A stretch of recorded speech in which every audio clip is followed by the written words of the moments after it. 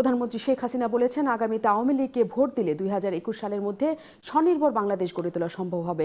তিনি বলেন, বর্তমান সরকারের সময়ে দেশ খাদ্যে স্বয়ংসম্পূর্ণ হয়েছে, সংসদীয় গণতন্ত্র প্রতিষ্ঠা পেয়েছে। সিরাজগঞ্জের উল্লাপাড়ায় সোনাতলা সেতুর উদ্বোধন করে তিনি এসব কথা বলেন। সকালে সিরাজগঞ্জে পৌঁছে প্রধানমন্ত্রী শেখ হাসিনা বঙ্গবন্ধু সেতুর পশ্চিম পারে সয়দাবাদে একশো পঞ্চাশ মেগাওয়াট পিকিং পাওয়ার প্ল্যান্টের উদ্বোধন এবং পঁচাত্তর মেগাওয়াট কম্বাইন্ড সাইকেল পাওয়ার প্ল্যান্টের ভিত্তিপ্রস্তর স্থাপন করেন। সেখানে প্রধানমন্ত্রী জানান, সিরাজগঞ্জ একটি শিল্প পার্ক স্থাপন করা হবে। এতে উত্তরাঞ্চলের উন্নয়নের পাশাপাশি এই এলাকায় হাজার হাজার মানুষের কর্মসংস্থান হবে।